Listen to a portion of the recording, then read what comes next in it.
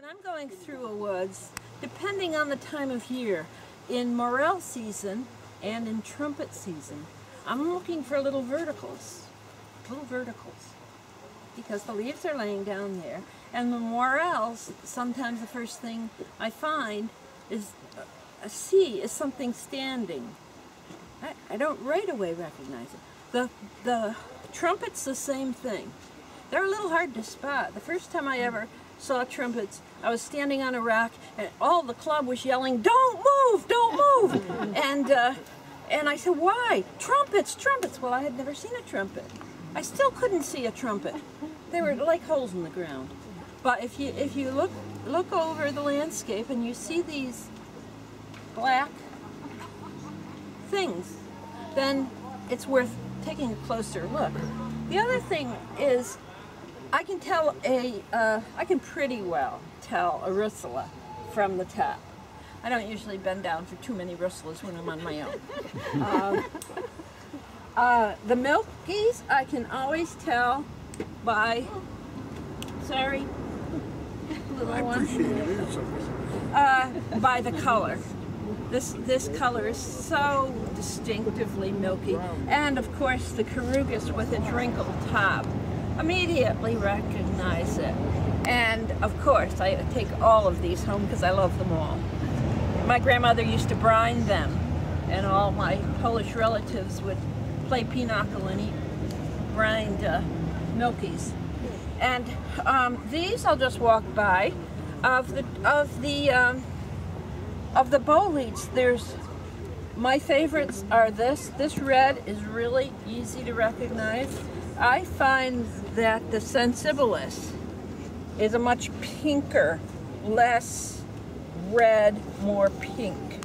And of course the stem. Um, those are really easy to recognize. I'll, um, what other ones do I love? Chanterelles. Yeah, well, chanterelles, they yell at you. You know, they say, wow, look at us, we're all yellow and we're standing up all over the place and come and get us. I'm always happy when they come out during the cooler season because they're less buggy. And there's some, such as the chestnut bolete. I don't bother picking. After you pick 200 and every one of them has been buggy, I just don't. I know they're supposed to be good edible, but it's too heartbreaking to always be picking them and finding them covered with bugs. So every now and then I have to tell myself, look up. And I do.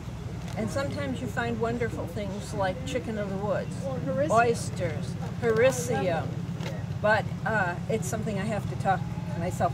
God, look up, look up. Okay, look up. Oh, when I go for a pee, I sometimes find a lot of things. Those pea mushrooms are great. You're right down there close to the ground. Well, some of us are. And um, and and Some of us are suddenly you start spotting things. Um, so are your Russells edible? Yeah. And there are some uh, Russells that are edible.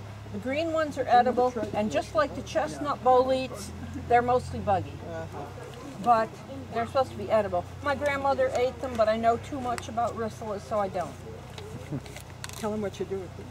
these, I did tell them I brine them, but also I just I just cook them in every which way, and they stay crispy and crunchy, and they're wonderful in almost anything. I love them. Some people don't like Volemus, the one with the close together gills, because they think it smells fishy. Doesn't bother me at all. I love it. I love it. And all three of these things are good edibles. Now I don't. Um, I, I guess that's about it. Uh,